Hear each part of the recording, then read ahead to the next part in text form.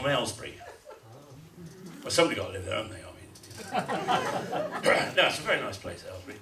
And um, he's asked me to tell you a little story, and it's his favourite story, and it's about a mate of mine in Oxford. And he's opening up this posh new restaurant in the middle of Oxford. And uh, because he's a great jazz fan, and he particularly likes Duke Ellington, he's calling this restaurant the Cotton Club, you see. And he phoned me up and he said, Hey James, he said, I'm, I'm having a VIP opening night in a couple of weeks.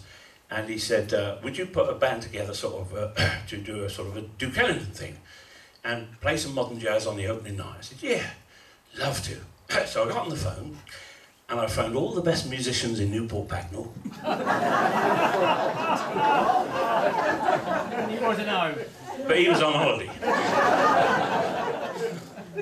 so, so I've, I've got the best trumpet player, the best trombone, and best bass player, and drummer, and so on. Anyway, we're getting very close to this big, big posh opening night in Oxford, you see, and the phone rings again. And it's the trombone player's wife. And she said, Well, James, I'm really sorry, but my husband's not well. He's not going to make the uh, gig in Oxford.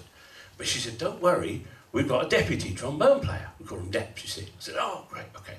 She said, Not a problem. Okay, phone down. Ten minutes later, the phone rings again, and it's this trombone deputy player, bloke. deputy trombone player, is that right? Yeah, you know what I mean. He said, Hey man, I'm checking out the gig in Oxford. I said, Oh, great. I said, Thanks for ringing. I said, Tell me, what, what sort of things have you done? Oh, he said, I've done everything. I said, Have you worked with any sort of big name artists? Oh, he said, I worked with them all. I said, Who? He said, Oh, Shirley Bassey, Frank Sinatra, Glenn Miller, Count Basie, Duke Ellington, Engelbert Humptyback, Tom Jones, Tony Bennett, Victoria Beckham. I said, fantastic. I said, well, how old are you then? He said, 19. so I thought, it's going to be all right, it's going to be all right. Anyway, the big night comes and we arrive in Oxford, this wonderful cotton club in the middle of Oxford, this wonderful restaurant. And uh, I'm there setting up the gig, and our friend, the trombone player, arrives. So we shake hands. How do you do? Nice to see you. So I get the music out, you see. Well, he looked a bit blank, didn't he, at this music. I said, uh, You do read, don't you? He said, Well, I read the Daily Mirror every day. so I said, Oh, okay, don't worry about reading it. What we do, we we play from memory all night long. He said, Well, it's not a problem. He said, I know every tune ever written in any key, any tempo. He said, Blindfold me if you want, stand me on my head. He said, I'll know it. I said, that's fantastic. Okay, I said, we better make a start. I said, because the guests are starting to arrive. So I said, let's start off with a Duke Ellington tune like Satin Doll. He said, oh, I don't know that. I said, okay, don't worry about that. I said, what about uh, C Jam Blues? He said, what key is that in? C Jam What is it? Okay. He said, well, I don't really know that. Now, if you're ever in this situation, Janet, here's a tip for you as well. If you're ever in this situation, Every guy in the world knows the lady is a tramp in C, don't they? Everybody knows that. So I said, look, we do the tramp in C, and what we do, I said, he said, not a problem. Blindfold me if you want, any key, any tempo. He said, I said, what we do, me and the bass player and the drummer play the first chorus, okay? And then when we get to the end of a little solo, you come in and we'll have a nice trombone solo.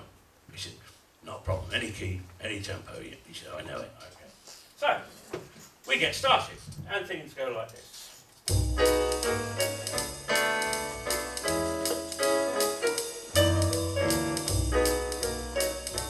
And the guests start to arrive now, you see. The mayor and his lady arrive. I went, good evening, Mr. Mayor, good evening, madam.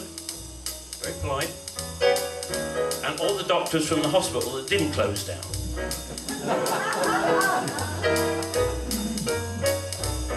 Would you believe Richard and Judy walked in? I went, good evening, Richard. Good evening, Judy. She went? Anyway, the guests are all, all, all, arriving now and they're starting to have a drink and a little chat and start to enjoy themselves. Now, we get to the end of our chorus, with the ladies a tramp.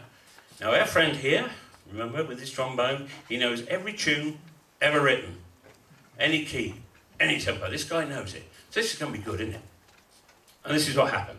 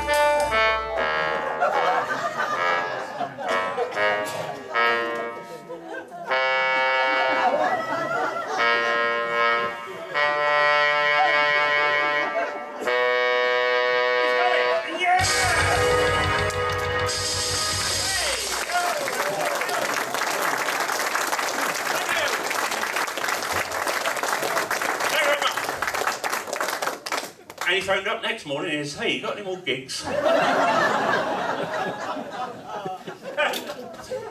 hope you got all that, Paul. I'll send you the bill.